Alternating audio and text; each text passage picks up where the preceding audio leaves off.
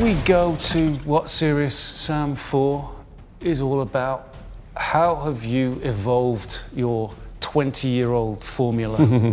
I don't think that it needs to be evolved much. I think that it works still today, although it needs uh, shine and polish, right? So we try to do that. For, for me, the, the, most important thing that it is really, you know, the, the, the Serious Sam game. That's the key, right? You don't have to mix them with, with the other games. So this is really, you know, proper serious game. That's the key.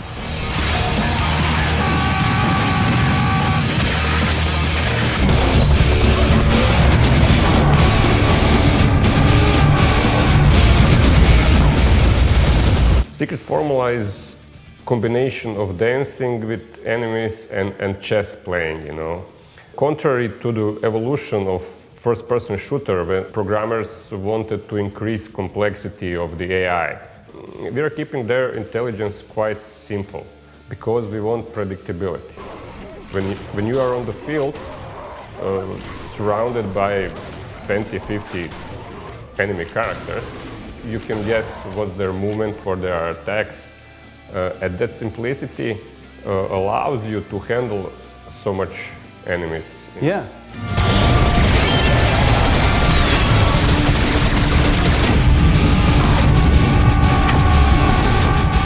Core of the Croteam uh, Serious Sam franchises is dancing with, with enemies and projectiles. As you repeat your, your, your fights again and again and again, you're getting better and something that was hurting you, now you're hurting them. And that's the simplest beauty formula that actually we really enjoy. What I love is you've got this, this brilliant uh, irony that Serious Sam is a game that really doesn't take itself know, very seriously. I know, I know, I know, yeah. So we enjoy making games. We'll also enjoy uh, playing them. And then I believe that people and uh, will also enjoy uh, playing them. That's like if you're a rock band, band musician, right? If you don't enjoy while you're playing, I don't think that people will hear your music.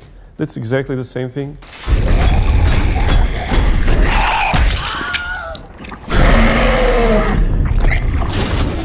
How much do you, attention do you pay to what the fans are asking you for? Uh, I think actually that over the time they influenced our game quite a bit. So we respect them immensely. I, I cannot describe that in, with, with, better words. First of all, uh, you know, enjoyment and passion that they gave us uh, through their comments, and that's just the fuel that we need to, to enjoy and make this uh, worthwhile, right? When, when, you are, when you know that people are enjoying what, what you are doing, that's, that's the driving fuel for everybody here. So okay, we want to play this game, but when you know that you have people that really enjoy that too, that's that's everything makes uh, makes sense.